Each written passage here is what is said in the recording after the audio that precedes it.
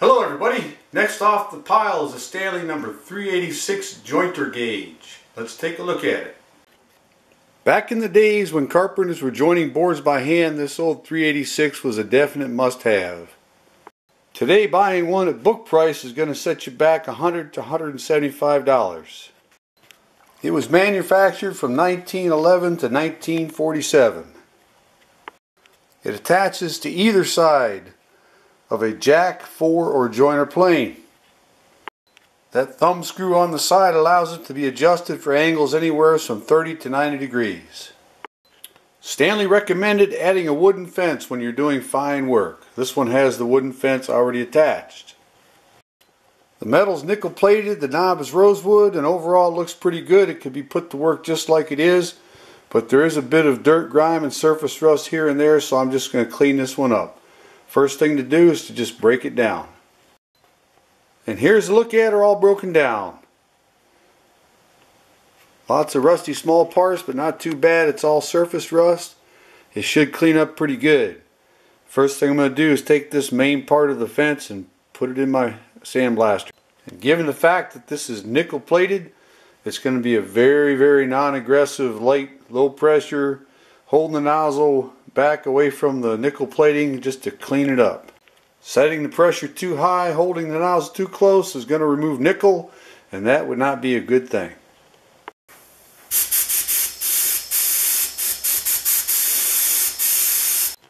And with the blasting done, I'm going to head over to my wire wheel to shine up the nickel and follow that up with that little wire brush and some steel wool.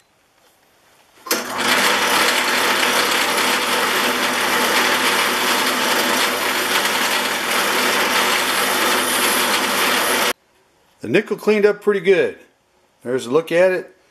Next thing I'm going to do is put a coat of lacquer on the fence and the knob. That fence looks like it was made out of oak. I put a coat of rosewood stain on it and lacquer's next. I like to use the Minwax lacquer. It's a clear satin. I use lacquer because that's what Stanley originally used and it's still a good finish. Light coats, lots of them. And while the lacquer dries, I'm going to get to work on the small parts. I'll use multiple layers of 150 grit paper in the screw slots. And I'll finish everything up on my wire wheel.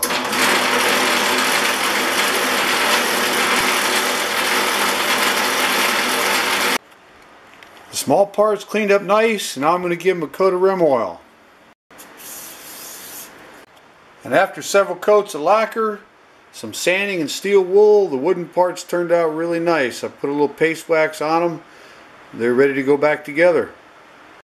And the last thing I need to do before putting it back together is break out the dirty oil rag and put a coat over the nickel plated parts. Every nook and cranny, cover the whole thing. And with a good coat of dirty oil applied, the next thing to do is wipe it off. And this old 386 does show its age, but it cleaned up quite well. We got rid of the rust. It's uh, ready to be put back together and be tested out. And before I take this old beauty for a test drive, I wanted to point out that she is a sweetheart era plane. That dates her to about the mid 1920s and makes this thing somewhere around 90, a little over 90 years old. And she is a beautiful old tool. I've selected a Stanley Bedrock 605 for the test drive. Got her all hooked up, tightened up, ready to go. Stanley definitely knew what they're doing when they designed this joiner gauge. It wraps around the base of the plane right here. And this screw right here tightens up against the top edge of the side and locks it in place. And in addition to that, you've got this plate right here on the back side that this screw locks down right up against the, the inside of the side of your plane. So between those two, that thing is locked secure and it's not going to go anywhere. You got them on the front and the back. I've selected a piece of poplar that has the joiner marks on the side from the modern electrical joiners. So it's a little bit rough, so I'm going to try to square it up with the 605 and the joiner gauge. I checked my joiner gauge with a square and I locked it in place. Now I just need to make sure I hold the fence flat against the side of my, my board that I'm joining and go ahead and run it across. Skipping over the high spots.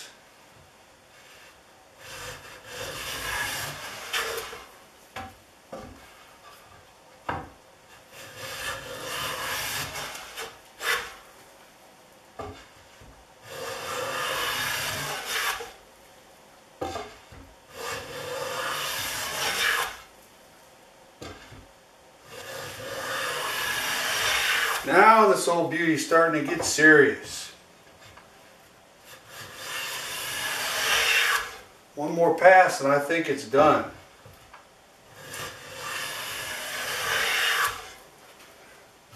That's pretty. So the old 386 jointer gauge and my Bedrock 605 did the job. That board is straight. It's been jointed and squared at the same time. All those ripply edges have been taken out and I checked it with my square and it is dead on.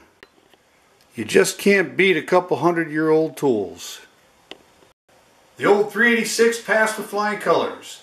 Highly recommend it to anybody that does this type of work. Stanley's not the only company that makes them, but I think Stanley makes the best one. I enjoyed doing this video. Hope you learned something.